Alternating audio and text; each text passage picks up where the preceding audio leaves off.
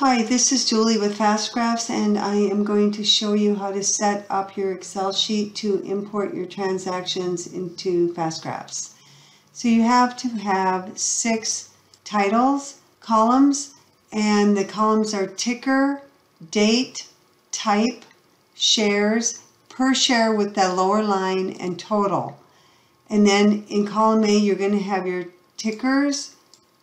B will be your date type will be a BY or SL. BY for buy, SL for sell. Number of shares, and then your per share and your total.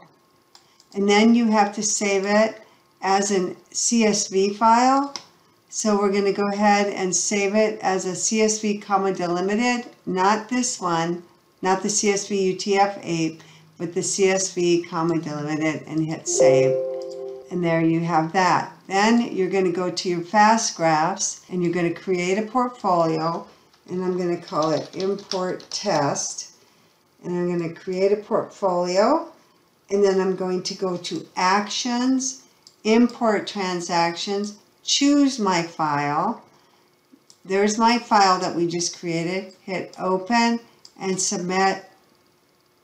It's importing and there we have my trades and then you can see them on the graphs. You'll see the dots on the graphs when you pull up the portfolio. Then I wanted to show you one other thing. So here's my dots.